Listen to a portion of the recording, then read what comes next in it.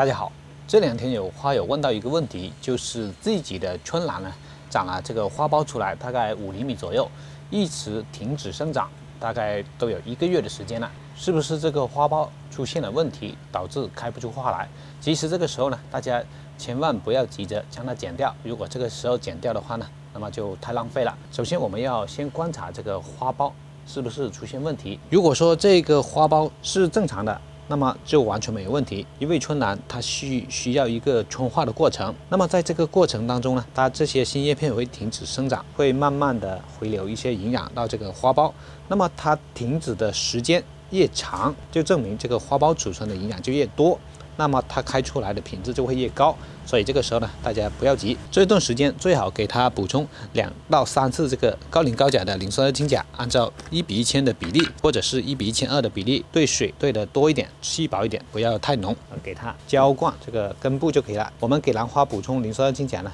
呃，一定不能把这个水浇到这个花芽这里，直接浇灌这个植料就可以了。这样的话呢，能有更多的磷元素来给这个花芽储存营养。如果说当这个花苞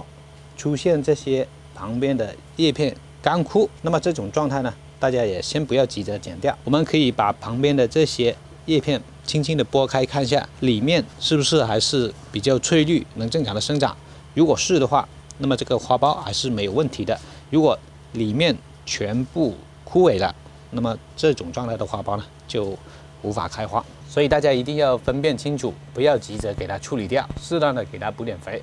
那么时间越长，它储存的营养越多，开出来的花的品质就会越高。好了，这就是春兰的一些开花习性。我们下期再见。